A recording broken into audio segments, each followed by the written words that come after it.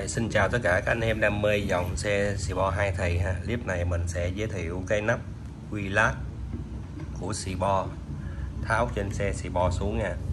Rồi mình sẽ quay chi tiết uh, cái nắp này. Nắp uh, quy lát này cũng có bán luôn nha. Rồi, nắp Cibo có cái một cái ký hiệu nè 21D7 đây, có chữ X của Cibo ha. Đây là cái à, bông mai. Đóng ký tự à, 00 là năm sản xuất đó. Từ à, đời 2000 201 202 như cũng đóng 00 hay 01 02 đó. Mà mình như là, mình thấy 00 thì nhiều.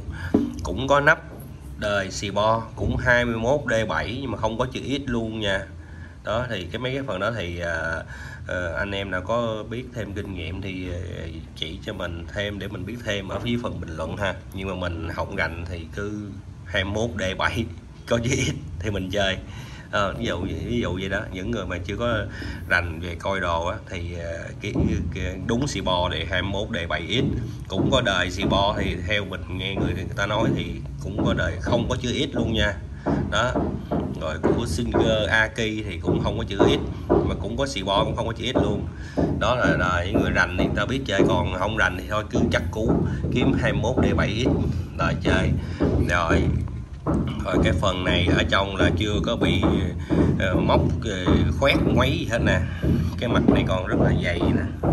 Đó mà bị uh, uh, móc ngoét hạ mặt thì cái này nó không còn uh, không còn ấy nữa không còn độ vậy nữa nó bằng luôn thì mấy cái chảo đó thì ờ, để cho những xe độ chọt, móc quấy quấy gì đó. Còn xe zin thì cứ kiếm mấy cái chảo zin để mà xài. Đó.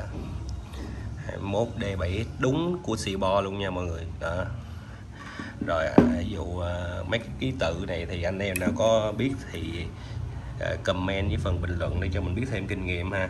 Đây rồi đây là cái ờ, cánh tản nhiệt. Mấy cục cao su này zin là dẻo nha chứ không phải zin uh, đồ thay mới nó cứng ngắt nha. Này là zin dẻo để uh, chống rung.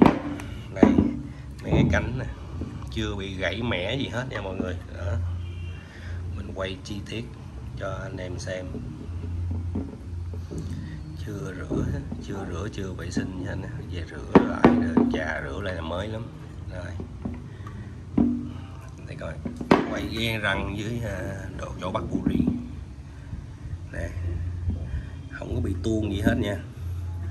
Không có bị tuôn mùi mòn gì hết nha. Còn bén lắm đó.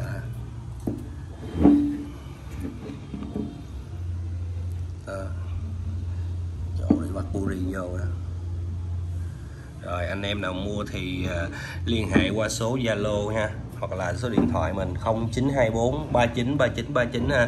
Rồi à, giá mình mong muốn bán cái này là 2 triệu ha. Rồi, anh em à, nào thích thì cứ alo ha. Nắp quy lá xì bò zin rớt trên xe xuống. Rồi rồi, bye bye, xin chào tất cả các anh em.